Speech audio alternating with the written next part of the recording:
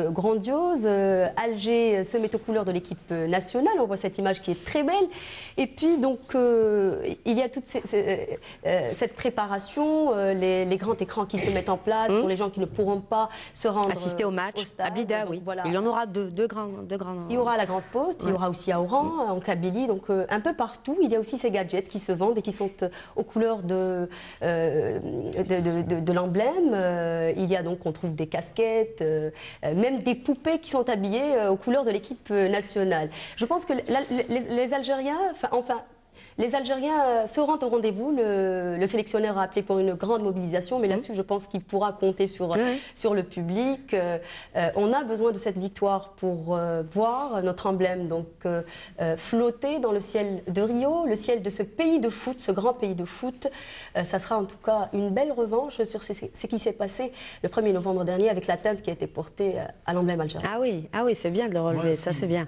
Moi, si vous me permettez, je vais aller un peu à l'encontre de ce qu'a dit ça. Moi, ce qui me fait le plus peur, c'est que tout est en notre faveur. Et ça, moi, j'aime pas trop, parce qu'on a, eu, on a des expériences dans ce sens.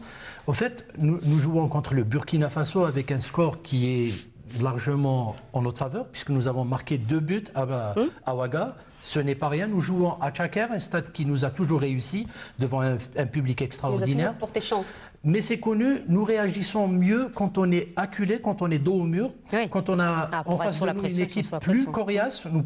on peut être très bon face au Brésil, à l'Italie, à la Côte d'Ivoire, et peut-être passer à côté devant une équipe modeste comme le Bénin ou le hum. Burkina Faso. Donc moi, ça, ça me fait un peu peur. Donc j'ai envie de dire, euh, confiance, ok, mais vigilons surtout parce qu'on a eu la mauvaise expérience contre la Guinée il y a de cela quelques années où il nous fallait juste un petit point qu'on devait arracher au stade du 5 juillet devant plus de 80 000 spectateurs et ça s'est très mal passé. Mmh.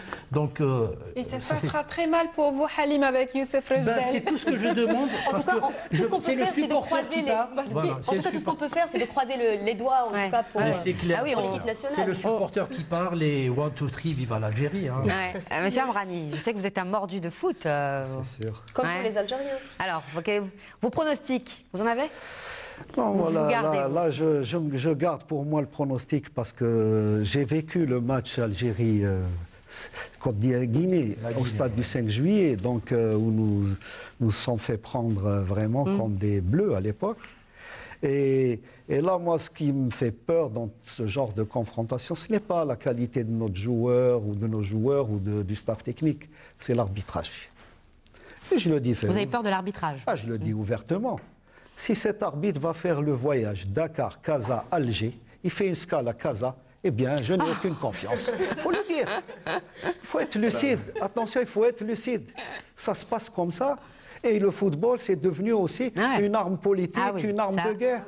Regardez les effets politiques que ça peut donner pour une nation. Si on gagne, regardez le ah moral qu'on redonne à, nos, jeunes, à nos citoyens. Une grande nation euh, est, une, est une nation qui a une armée, qui a un gouvernement, mais qui a aussi une équipe de foot et une équipe de foot qui gagne. Qui gagne. Alors vous voyez ce que c'est. Donc euh, ne nous le rend pas nous, courons aussi ce risque, donc il faut être vigilant. On va s'arranger pour pas qu'il passe par le Maroc, M. Amrani. Euh, je, serai président de la fédération algérienne, je lui enverrai un billet de première classe Dakar Paris Alger.